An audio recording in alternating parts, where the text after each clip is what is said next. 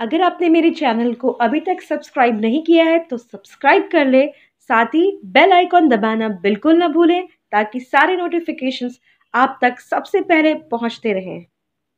Hey guys hope you all are fine today आज मैं आपके लिए एक नए किस्म के प्रोडक्ट का रिव्यू करने वाली हूँ, जो कि है लाशील्ड का फिजिको मैट सनस्क्रीन जेल ये मैंने नायका से परचेज़ करा था बिकॉज़ मुझे एक सनस्क्रीन जेल की रिक्वायरमेंट थी। सेकेंडली बिकॉज़ मेरी स्किन बहुत ज़्यादा ऑयली है तो मुझे सनस्क्रीन या कोई भी क्रीम परचेज़ करने के पहले देखना पड़ता है कि वो मैट फिनिश देता है कि नहीं। ना this is totally a matte sunscreen gel तो बेसिकली ये फिफ्टी ग्राम्स है इसकी प्रोडक्ट क्वांटिटी और ये मुझे मिला है सिक्स हंड्रेड रुपीज़ में। तो चलिए अब हम वीडियो की तरफ़ बढ़ते हैं और इसका रिव्यू करते हैं, जहाँ में हम बात करेंगे इसे कैसे यूज़ करना है, इसके अंदर इंग्रेडिएंट्स क्या क्या हैं और इसके बेनिफिट्स क्या क्या हैं। तो चलिए वीडियो शुरू करते हैं। तो गई ये कुछ इस तरीके से ट्यूब में आता है विद अ कैप जो कि स्टार्टिंग में आपको दिख जाएगा, ऊपर में कैप है। और ये बहुत फिफ्टी ग्राम्स क्वांटिटी है तो थोड़ी सी प्राइसी आपको लग सकती है बट अगर आप इसे यूज़ करेंगे तो आपको पता चलेगा कि इवेंचुअली ये काफ़ी बेनिफिशियल होती है, ख़ास करके उन लड़कियों के लिए जिनकी स्किन बहुत ज़्यादा सेंसिटिव है। लाइक like माइन मेरी स्किन भी वैसे ही बहुत ज़्यादा सेंसिटिव है ऑयली है तो मेरे लिए तो ये बहुत बेनिफिशियल है।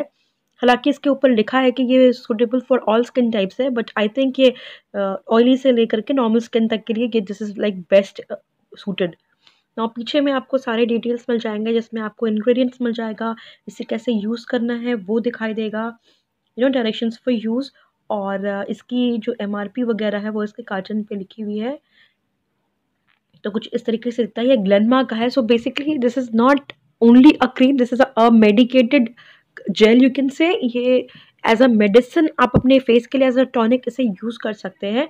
ग्लेनमार्क फार्मास्यूटिकल्स इसे प्रमोट करता है और मैंने ये इसको यू नो मार्केटिंग करता है इसकी।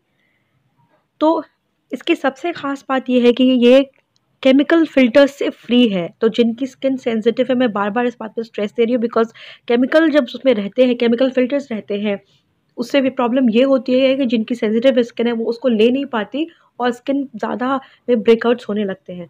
दूसरी सबसे इंपॉर्टेंट बात है कि इसका S P F fifty plus है विच मीन्स कि ये आपको अल्ट्रा वायलेट ए और अल्ट्रा वायलेट बी रेज दोनों से आपको ये प्रोटेक्शन प्रोवाइड कराएगा।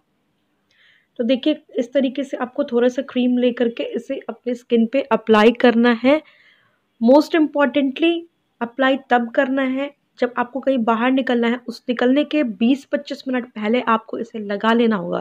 बिकॉज़ इसको अब्जॉर्व करने में टाइम लगता है, वक्त लगता है तो आपको इसको 20 मिनट पहले अप्लाई कर लेना है, ताकि ये अच्छे से आपकी स्किन में एक प्रोटेक्टिव लेयर फॉर्म कर ले।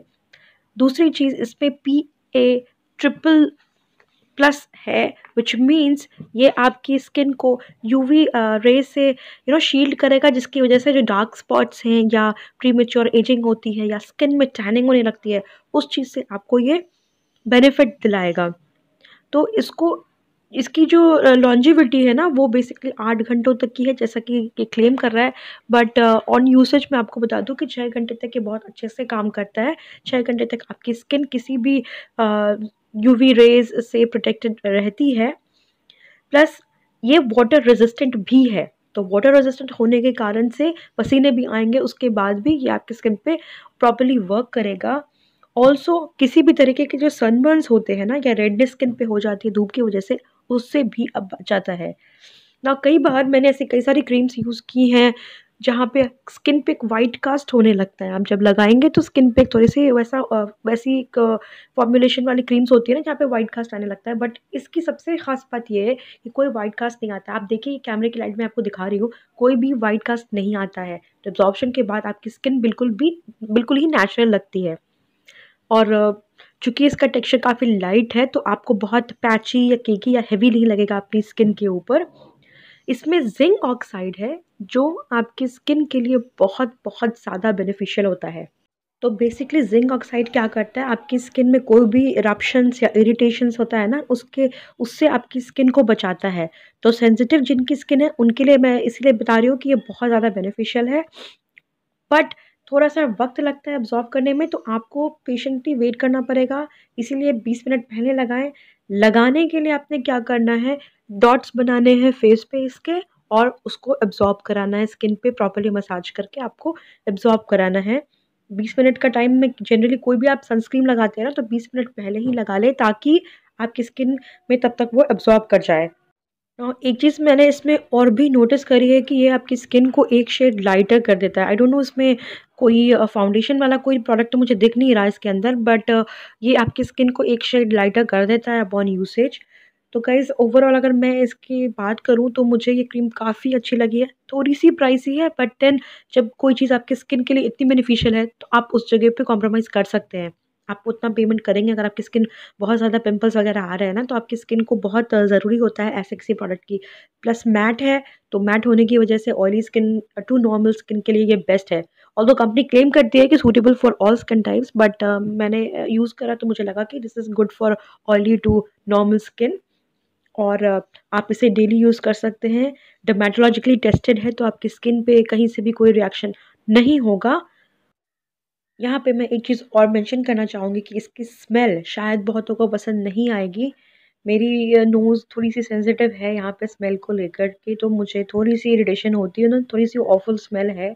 बट देन ठीक है ना, जब आप स्किन के जो भी क्योर करते हैं तो उस केस में आपको उसकी स्मेल पे कई बार ध्यान नहीं जाता है। जब आपकी वो स्किन के लिए वो अच्छा हो तो खास करके ध्यान नहीं जाता है। तो गाइस इसका लिंक मैं डिस्क्रिप्शन बॉक्स में डाल दूँगी। जो भी मैंने बात करी इसके बारे में, अगर इसके अलावा आपको कोई भी कन्फ्यूज़न है इस प्रोडक्ट के बारे में तो आप मुझे ज़रूर कॉमेंट सेक्शन में बताएँ। चूँकि मैं यूज़ कर रही हूँ तो मैं आपको बहुत अच्छे से बता पाऊँगी। इसमें कोई भी चीज़ आपको, जो मिसिंग हो तो आप प्लीज़ मुझे बताएँ। और अगर आप मेरे चैनल पे नए आए हैं तो प्लीज़ सब्सक्राइब करना ना भूलें। ऑल्सो अगर आपको ये वीडियो ज़रा भी अच्छा लगा होगा तो don't forget to gave it a big big big thumbs up guys please keep sharing my videos to your friends to your families to your relative and keep motivating me with your beautiful comments and compliments and if you want me to review a product of your choice to mention that in the comment section below I will definitely get back to you as soon as possible तो guys आज के लिए इतना ही, और बहुत जल्दी मैं अपना अगला वीडियो भी अपलोड करूँगी। तब तक के लिए hope you have a great day goodbye